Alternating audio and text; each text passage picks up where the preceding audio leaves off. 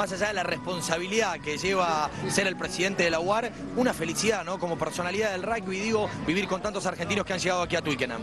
Sí, la verdad que muy contento de vivir esta instancia del rugby argentino con tanto esfuerzo, tantos años. Realmente es, un gusto y después poder participar de un montón de reuniones que hemos tenido los dirigentes acá, eh, tuvimos una reunión muy importante con la Sansar, donde ya nos incorporaron como miembro pleno. Y bueno, también eh, la confirmación de que Japón va con un equipo muy importante a jugar el Super Rugby. Todas son noticias que nos llenan de, gusto. Y después, una cosa que es tremenda, todos los ingleses, irlandeses, escoceses, todos apuestan a, que la, Argentina haga un, buen papel en esta semifinal, ¿no es cierto? Me imagino que como dirigente siempre está la cuota de optimismo que tenés que tener, ¿no? Para afrontar los distintos desafíos. Pero ¿te imaginabas una transformación del seleccionado argentino en tan poco tiempo, en cuatro años?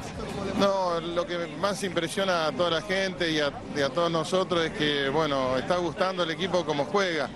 Independientemente que jugamos con un rival como Australia, que los últimos 10 partidos nos ganó 9, esa es la realidad.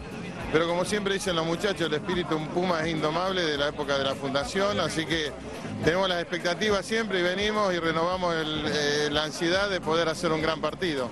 En un día tan especial, sobre todo en la Argentina por las elecciones, me parece que el seleccionado también es un ejemplo de lo que se puede lograr con el talento de los argentinos cuando se les brinda las herramientas de desarrollo. ¿Se vive así en parte todo este éxito en cuanto a una semifinal? Y se vive así porque realmente una continuidad de prácticamente 10 años de la Unión Argentina, de hacer una conducción tras un mismo objetivo, hemos apuntado claramente a dónde queríamos insertarnos, pudimos insertarnos, eh, mantuvimos el rugby amateur, que es la base de nuestro rugby, sin incólume, sin tocarlo, y por ahí pudimos profesionalizar un grupo de jugadores que vamos a hacer con ellos un gran equipo el año que viene, y de seguro en el Mundial de 2009 vamos a tener un gran fogueo, con lo cual vamos a perder la irregularidad que siempre nos dicen que tenemos como selección argentina.